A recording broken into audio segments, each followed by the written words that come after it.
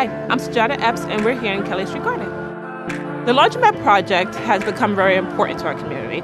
Things like Field Day help strengthen us and keep us together. Basically, the Laundromat Project has become like a family in many ways to the Kelly Street Garden and the Kelly Street block.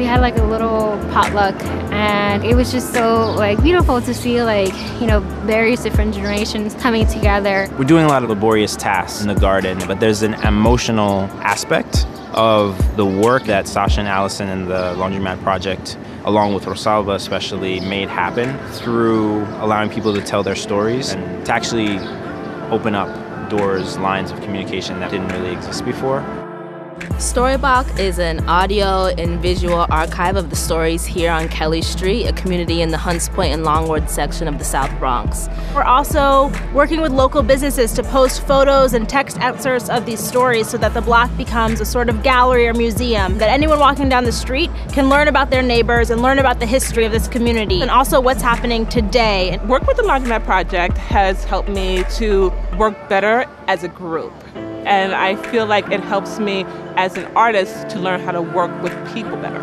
By joining the Laundromat Project's People Power Challenge, you'll be providing long term support for arts and communities like Kelly Street, connecting artists and neighbors in meaningful ways, and amplifying the creativity that's already present in our neighborhoods. Please give $10 or more to help raise over $30,000 in just 10 days. $30,000 will help make artist projects like Storyblock happen across the city in 2016.